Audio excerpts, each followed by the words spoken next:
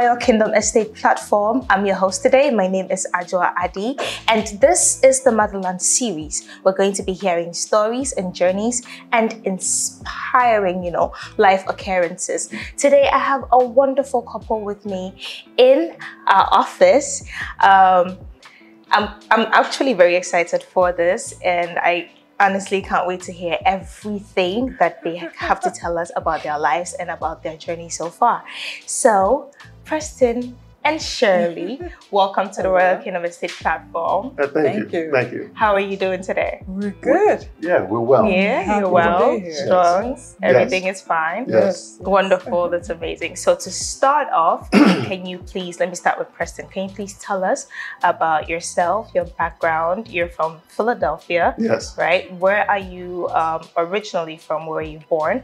And where are some of the places that you've lived at? Well, as originally I was born in Philadelphia, okay. Pennsylvania. Okay. Okay. Um, I, I left for a while. I was mm -hmm. in the mm-hmm. military. Okay. And then after that, I went back to Philadelphia. Mm -hmm. um, traveled a bit because I was, um, um, we'll say, an executive okay. for a telecommunications company. Oh, that's lovely. So I had to travel a lot mm. within the U.S. Okay.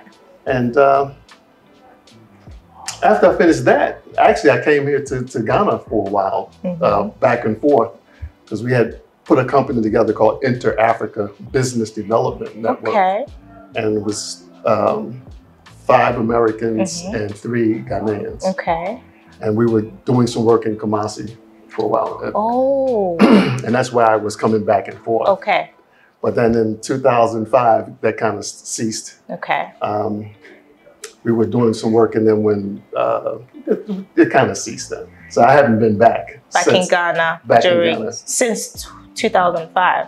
I came back weekend what two, 2022? Yes, 2022. 2022? You came, came, back, back around that time? Yes. Okay. Because Shirley wanted to buy a house. Okay. okay.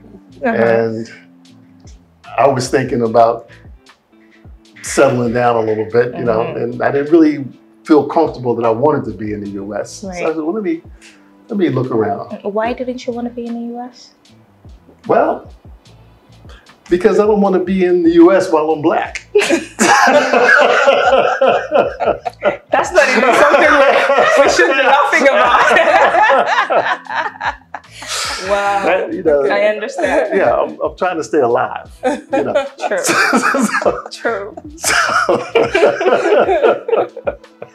okay, so you decided um, to settle somewhere else? Yeah, yeah, to during... keep to keep the stress level down. Yeah. Okay. You know. That's what um, not only that, I wanted I wanted my children mm. to understand mm. what it's like to be in Africa. Right. Because because they keep saying, Dad, why do you keep going back to why do you keep going back and forth to, to Ghana? You know, I said, I said, I love it there. You know, and I do. I said, I love it there. Yeah. So uh, that's what I'm doing now. That's why I came to to Royal Kingdom. I want to get a, a, couple of plots, which -hmm. I mm-hmm. did. Yeah. And build a, a, home base so that here in Ghana, so that when they want to come, they'll have a place to come to. Yeah. You know, all they need is the airfare. Yeah. And they can come and just hang out, buy their food, see what the opportunities mm. are. Yeah. And maybe stay or not stay. It's up to them. But I want them to have the opportunity yeah. at least. That's great. So while I can do that, if uh, the creator keeps my health and strength up, mm-hmm. then that's what I'm going to do. Okay. I, I, I, actually look forward to it. But let me come to you, Shirley. Yes. Can you tell us a bit about yourself as well? well I, um, I too am from Philadelphia. Mm-hmm. However, I was born in Virginia. Okay. Um, but from a very young age, mm. um, my parents took us uh, up to um, Philadelphia. Yeah. And so I've been there most of my life. Okay. And um, I like to travel, and so I've traveled a lot of different places, wow. but hadn't been to the motherland yet. Okay. And at some point, I learned through African ancestry mm -hmm. that um, my lineage is. Um, I'm Asante of the Akan. Mm -hmm. And mm-hmm. so then, of course, Ghana became a highlight for yes, me. Yes, we, we just jumped to the top of the list. yes, and so um, you know, I, I uh, began looking around and mm. researching and um, uh, decided I wanted to come here and okay. be here. You know, so, That's wonderful. Let me touch on the both of you a little bit. How did you meet? who who would take that?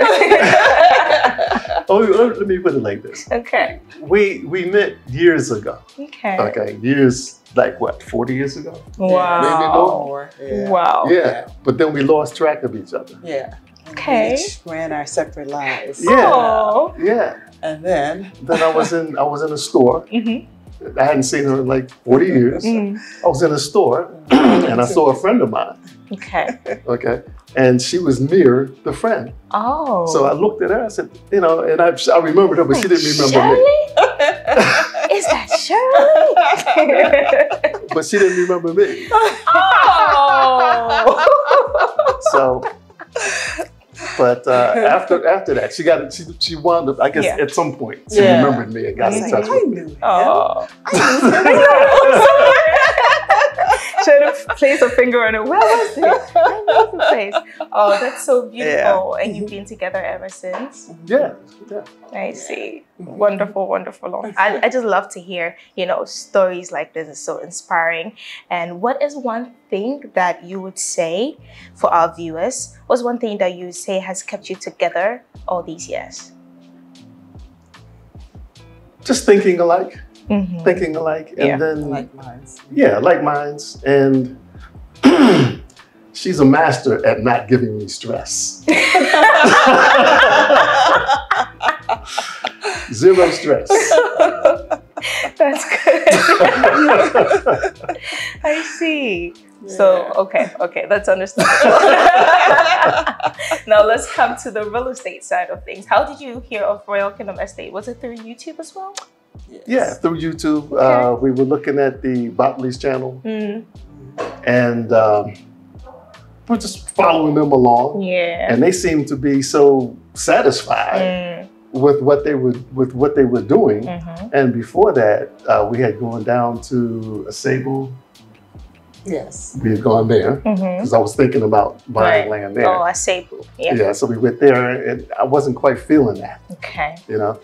And then um, to uh, it was just I was we were just looking at different places, Yeah. and I didn't really feel like this is where any, Mhm. anywhere was where I wanted Nothing to be. really touched you. Yeah, until I went to Royal Kingdom to I went I went this yeah this is this is it. Yes.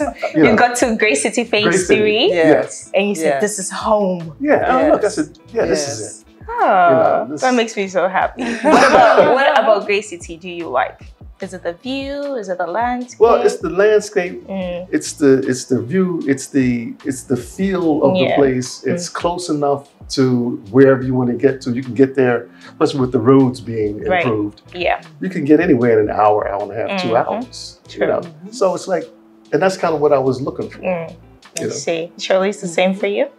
Yes, yes. Um, went up there, uh, saw the view. Mhm. Um, uh, I see uh, the the organization. Yeah. Okay, in in the whole layout, the effort, uh, the assistance Mm, um, that we're being given, being given. The the questions Mhm. are all answered very thoroughly, yeah. so Right. that we are very clear in our understanding Mhm. of what's taking place and what's to take place. Yeah. You know, so uh, it's like a no-brainer. Yeah. and, and I was very, I am very impressed with the level of expertise Mm-hmm. Thank that you. that you that's been expressed. Thank you especially very when it much. comes down to details yeah. Right. in terms of um, building and Mm. building assistance and understanding the land and how it Mhm. would work and what would work and what wouldn't work. right. And I feel very comfortable Mhm. that I'm in good hands when it comes down to trying to understand those Yeah. things. When it comes to when it comes to actually building Mhm.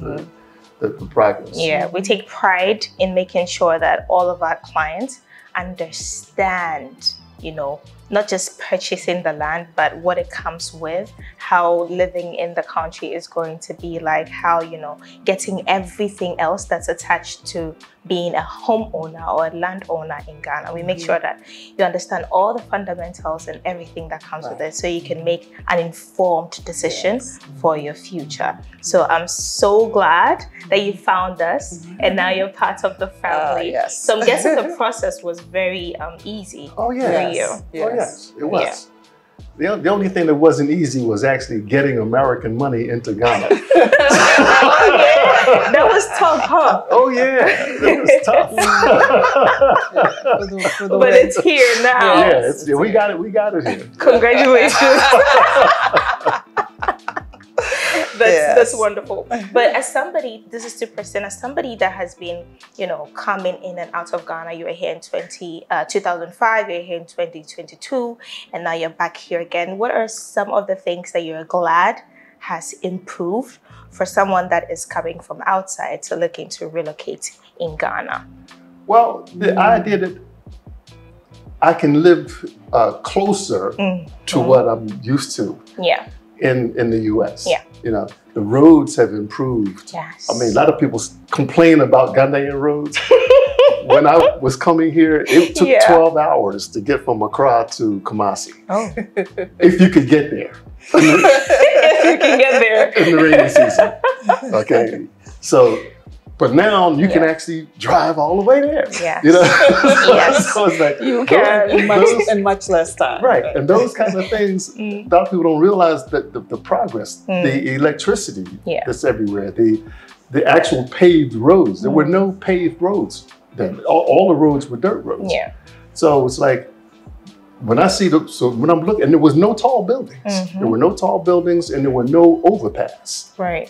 So all of this is new. Mm-hmm. So when I saw I said, wow, this is all good. It's good stuff. But the icing on the cake Mm-hmm. was the mall. The mall. The mall. Okay. And the icing on the mall was the Mhm. ShopRite. Oh. okay.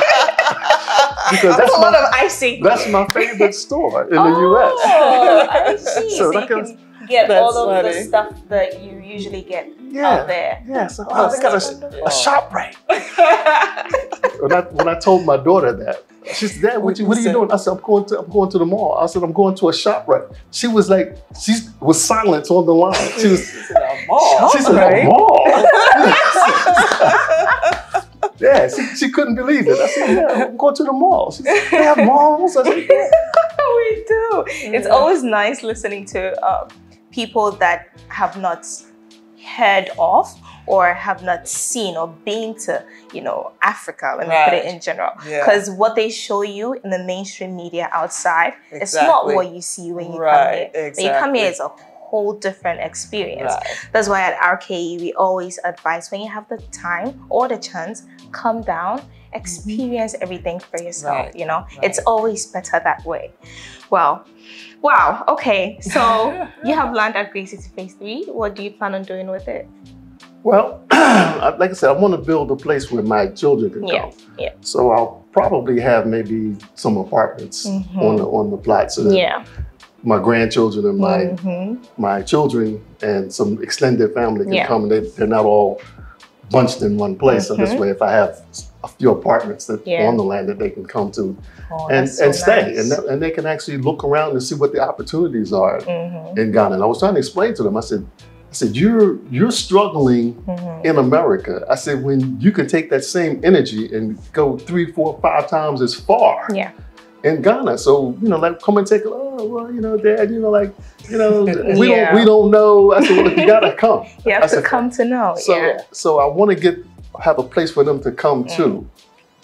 And we've been meeting some very nice people since we've been here. so Yeah, that I you've been can- networking. Yes. Yes. Nice. Yes, You've met yes. some of your neighbors. Right. And- Yes, And, then yes, some yes. YouTubers and Yeah. people like that. Yeah. So That's now nice. when we say when I bring them here, I can introduce them to people Mm-hmm. Right. who've been here Mhm. and who've gone through the process Okay.